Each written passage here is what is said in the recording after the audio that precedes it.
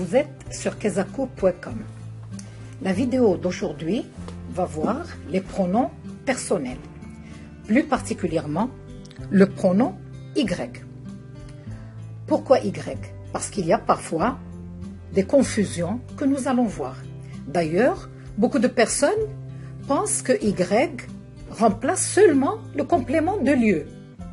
Effectivement, c'est une des réponses. Il, est complément de lieu dans certaines situations.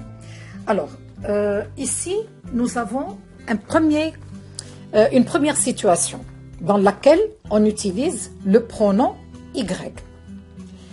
Alors, on l'utilise d'abord après, euh, quand il y a un lieu.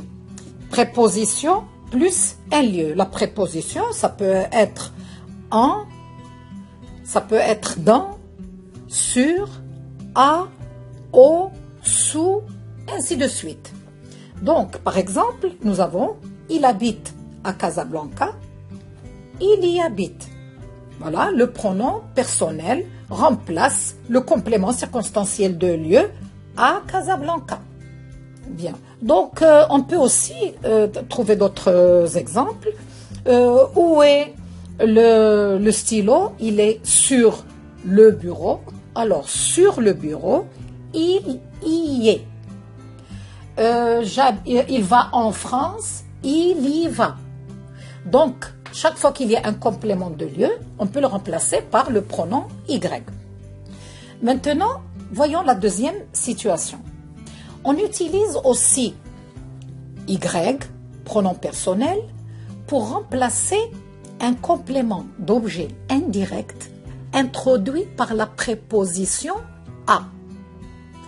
À plus quelque chose, à plus une idée. Par exemple, je pense à ce que tu as fait hier. Je pense à quoi? À ce que tu as fait hier. Alors, toute la, proposition à ce que tu as fait hier, on peut le remplacer par Y. J'y pense. Euh, je m'entraîne à la compétition. Je m'entraîne à quoi? À la compétition. Donc, à la compétition, je peux aussi le remplacer par Y. Je m'y entraîne. Vous voyez l'économie du pronom. Euh, personnel, tout, euh, c'est-à-dire tout ce qu'il y a après A, on, va l'utiliser utiliser seulement Y. Par exemple, as-tu fait ce que je t'ai demandé de faire hier? Alors, à, à ce que je t'ai demandé de faire hier, tout ça, je peux le remplacer juste par Y. Oui, bien sûr, j'y ai pensé. Alors, on va voir l'autre exemple. Je crois à l'amitié. L'amitié, c'est une idée. tu crois à l'amitié? Oui, j'y crois. Donc, Y. Donc, je pense ici, c'est clair. Mais attention. Alors, il faut faire attention. Il y a, euh, quand on a A, on peut avoir A plus quelque chose ou une idée, comme on peut avoir A plus une personne, plus quelqu'un. Alors, ce qu'on vient de voir, c'est A plus quelque chose. Alors dans ce cas, on va mettre Y. Si on a A plus quelqu'un, eh bien non, qu'est-ce qu'on va mettre? A plus pronom tonique. Qu'est-ce que c'est qu'un pronom tonique? C'est moi, toi, lui, elle, nous, vous, eux, elle. C'est-à-dire, ça dépend du nom. Par exemple, je pense à mes problèmes. Alors, à mes problèmes, c'est quelque chose. Donc, qu'est-ce qu'on va mettre? Ce qu'on a dit tout à l'heure. Hier, euh, donc, euh, à mes pensions, on va mettre Y. J'y pense.